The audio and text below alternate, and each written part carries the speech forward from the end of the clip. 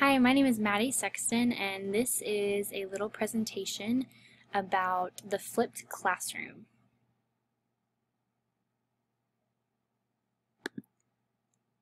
So, uh, sorry I had a little difficulty getting the slides to change, they're really quick.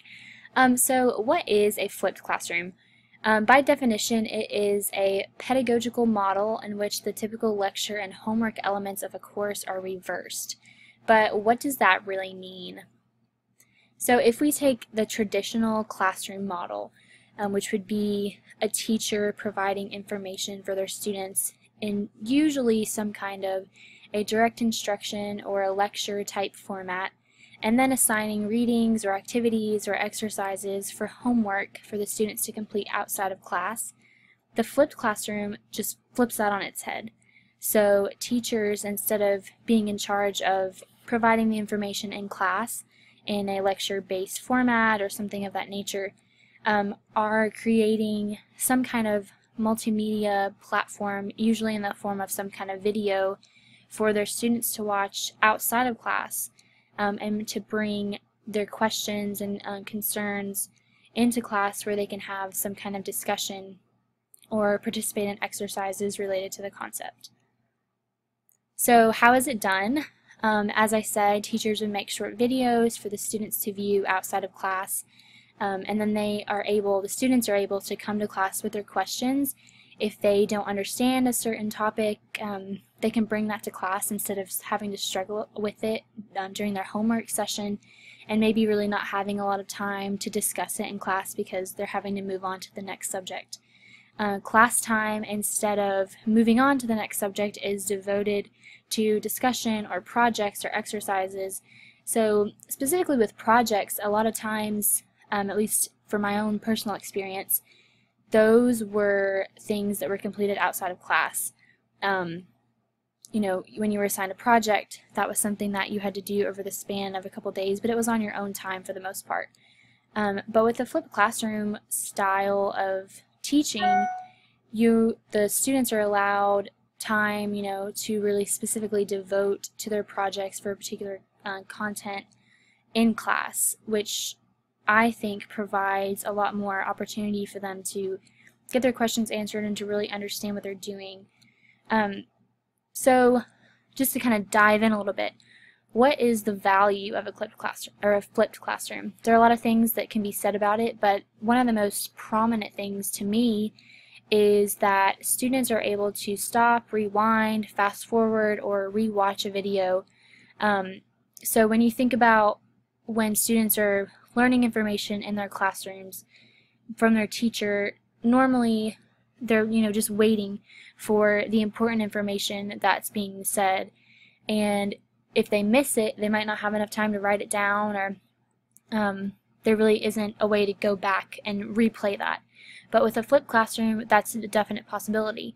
So if students are listening to a video or watching some kind of screencast and um, realize that they may have missed an important part of the video, they're easily able to go back and rewatch it, um, maybe rewatch the entire video or only a portion, and that really allows them more accessibility with the information to make sure that they are indeed grasping the important material that is a part of the video. Um, it has been said that devoting class time to the application of concepts might give instructors a better opportunity to detect errors in thinking. So when instructors and teachers are taking that class time to hear their students' ideas about a particular concept, they're able to really dissect what they're thinking and what they're understanding and maybe what they're not understanding. So if there are errors in thinking or some issues with a particular part of the idea or concept, um, teachers are really able to effectively and immediately address those kind of issues without having to wait for homework to come in the next day and then you maybe you know not have enough time to really focus and devote to that particular issue. Um, continuing about the value, students are actively learning rather than sitting and listening to a lecture of some sort. And yes, there are plenty of ways and plenty of models that provide active engagement for students um, in the traditional style classroom, but the flipped classroom model is just another way to get them more actively engaged in what they're learning since they're participating in activities and discussion in class rather than outside of class. Um, students create their own questions about a concept and consequently create their own knowledge. So when they are really taking part in that concept, they are, you know, they're having to make up questions to be able to participate in a discussion or something of that nature, which really helps them to more deeply understand what's going on.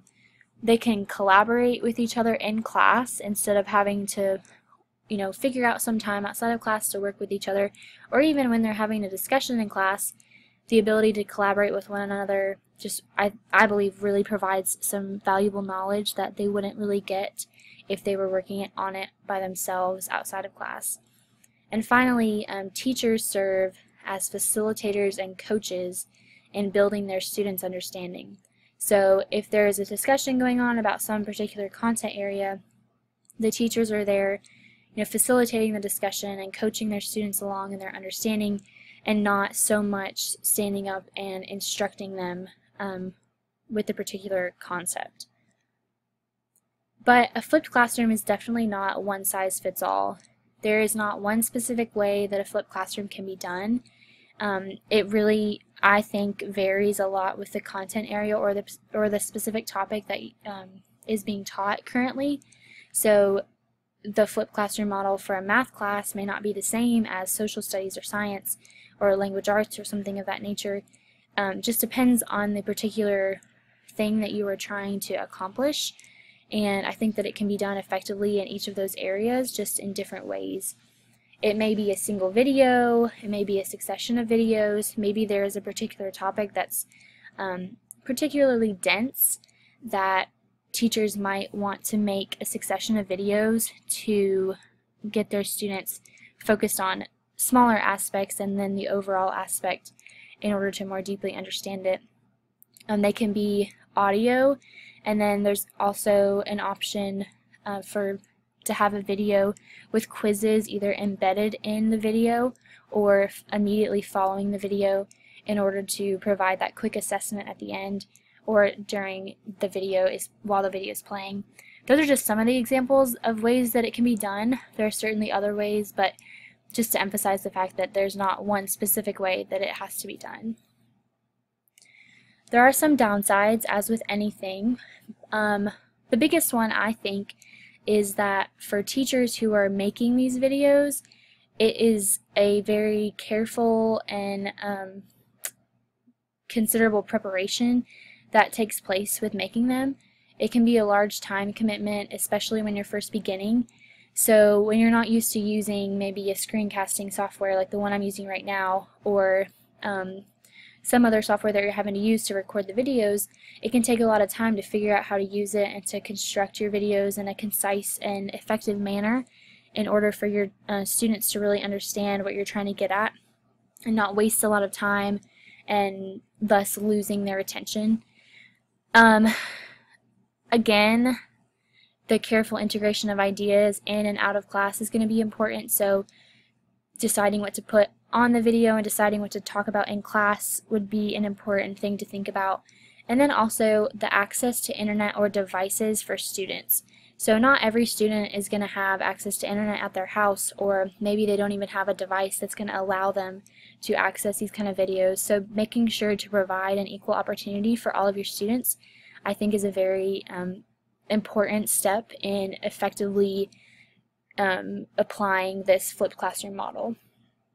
So in the end, the big so what, I think, and this is just a statement that I came up with, um, a flipped classroom can be an enormously effective teaching model if enough time is taken to effectively explain and prepare the videos and if the students buy into the idea. So if your students aren't very interested in that particular style of teaching, then you're probably not going to have much success with it. But if they buy into the idea and if they're excited about the videos and they, you know, are really learning some valuable information from this new model of teaching, then I think it can be incredibly effective but that just depends on your content, the time you've taken to make the videos, the effectiveness of them, and really the way that your students are interacting with them. So there are just some ideas about a flipped classroom to kind of get started. This is one of the first times I've ever learned about it, but I think it's a really cool thing that I'm definitely going to try in my future as a teacher. Here's some of my references, and thank you very much for listening.